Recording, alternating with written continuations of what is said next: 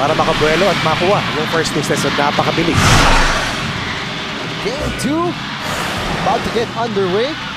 We begin with a service from Narinig niyo the yung crowd dito sa. Sunod to keep that alive. Pablo! Hindi mo na Pablo maipipigil yun. At ah, maski matining yung pancake na ginawa ni Denden Lazaro, Pablo, may kakaibang sipa at may kakaibang ah, energy na pinapakita dadang Over by Pablo. And over. Free ball at napakagandang pwestuhan naman yun. Wala kay C. Binanggit natin kanina yung marquee matchup ng mga attackers ng Libero. ABS-CBN ang Shakey's B-League. Valdez!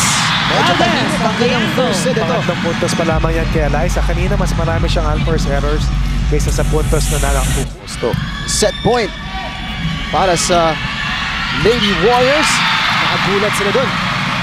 That has been a weapon shot. na na-develop ni Eliza Valdez. That comes with freeze the server and trying to map out one final play. And he was able to And do what he wanted. Gets the They first got the final point. 25 Lamang sila to ng isang set dito sa 23. game 2 ng ating ah, yung opensa nila para magka-problema naman sa kabilang side ang Pocari Sweat. Lady Warriors starting things off para sa ating uh, second set. Mas nakikita natin yung Vernes. Malaluan. Valdez going for the off-speed. Valdez off the hand of Napaganda. Gumabaw. Nandoon naman si Michelle Gumabaw pero Mount a comeback. grabe naman masusubok talaga yung galing ng mga libero. Dada, back sinasabi natin. It takes perfect timing, it takes precision to shot. Mula sa backline. Myla Pablo. Off-speed. Wow, Yes. mabol ng bola. Konting shuffle para kay Charo Soriano. Valdez Nablock dito. into the block. But it went out.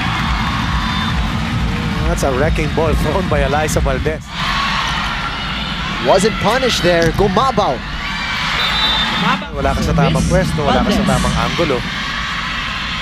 Pangatlong service Ayan, no? ace. yan talagang target ni Eliza.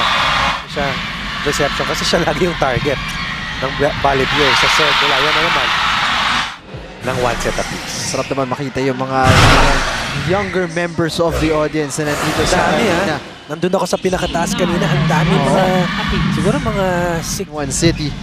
Importante para dito sa Pocari Sweat na magising-gising ang kanilang mga key figures. Isa dyan, si Elaine Casilag at nagre-reklamo sila dito na, na Napatayo si Coach ah, Romel Abella.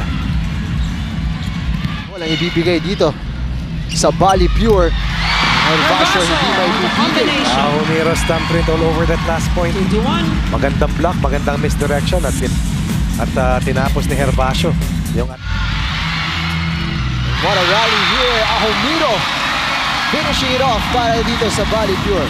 si Amy ba yun o si Jen. Ferrer G? Mukhang si Jen Ferrer yun. Consider- Nine all. Gumabaw. Good reception.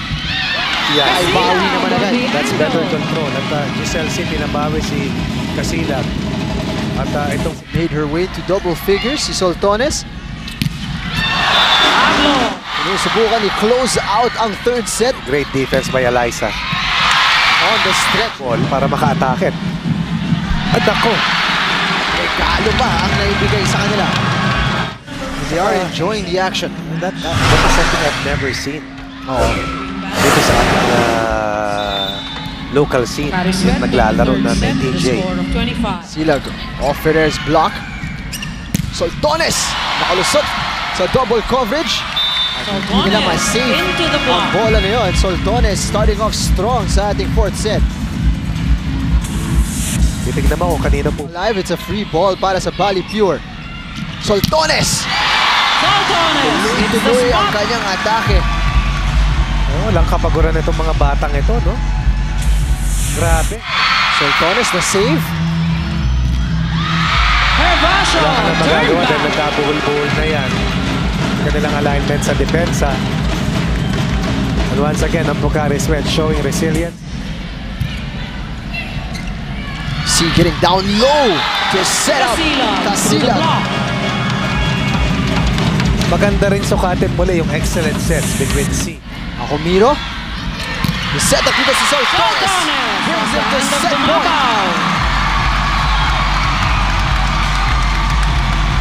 Matutuwa ka at mamamangha ka. Baling four sets. At uh, once again, we'll go into a fifth and deciding set here, Jing. Back to back. Ngayong Sabado. For those just joining us, of course, Mabaw! For Bali the first point. kalamangan dito sa ating serya. Right. Si sp- scrambling over. Pablo Pablo, back row attack. from the rear line. Grabe yung palo niyo mula Grabe. kay Myla Pablo. Biting the bullet. Maski hindi ganun katining Substitution. yung Free ball dito para sa Bali Pure Valdez. Sent back the Valdez defense. denied. Doing the damage para dito sa Pocari Sweat. Delio going to Eliza twice. Michelle Gumabaw. Siya ulit ang hahanapin dito. Masakit yan. Masakit yan para dito sa Bali Pure. Five sets pero nakuha nila dito ang panalo. And here's the Shakey's shake and play of the set. Service ace mula kay Myla Pablo. What a win for the Lady One. in this face-off. And it started out really well for them having that first set in their pockets. But eventually they had to rely on their tough net defense.